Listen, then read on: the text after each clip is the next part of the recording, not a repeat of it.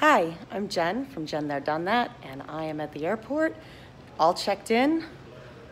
Wanted to go to the the airline lounge, but it's closed. So uh, I'll be heading down to my gate. I'm super early because I had to check a couple bags, and ah, this will be an adventure. So we're off to Puerto Rico.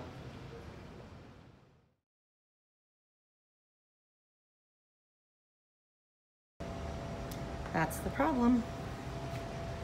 Outside of the hours.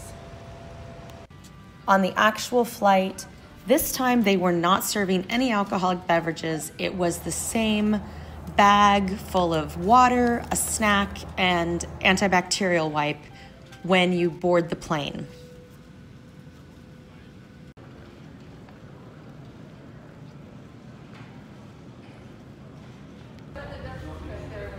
The AMT Club at American Airlines.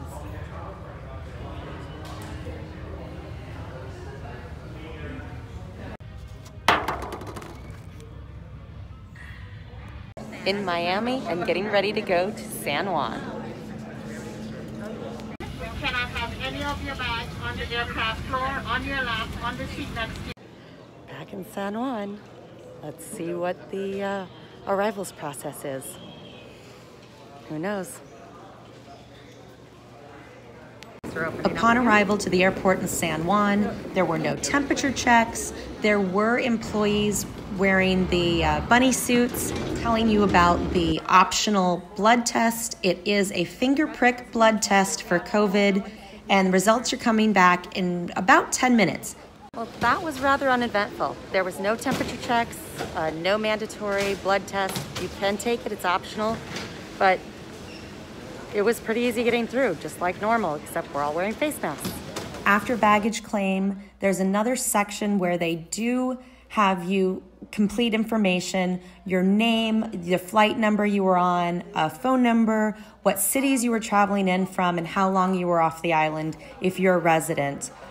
It sounded like they had similar questions for visitors as well.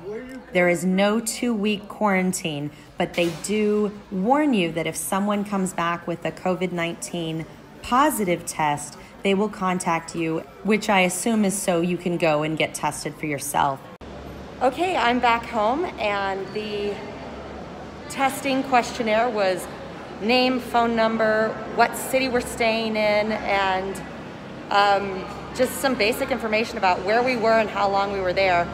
Um, apparently, if somebody does test positive, then they'll contact me uh, if we were on the same flight or something. But it, there was no temperature check. The blood test was completely optional. This was kind of a letdown. I thought it was going to be much more difficult to get home, but this was pretty easy. So hopefully, people are being safe and uh, they're not bringing COVID onto the island. Overall, the arrival process into San Juan were very simple, very easy, optional tests if you choose to, and just give them some basic information and you're on your way. Quick, simple, easy. Have you flown lately? Are they doing any COVID 19 tests at other airports? Are you seeing flights with the middle seats open? Be sure to leave me a comment below with your experience. And thanks for watching.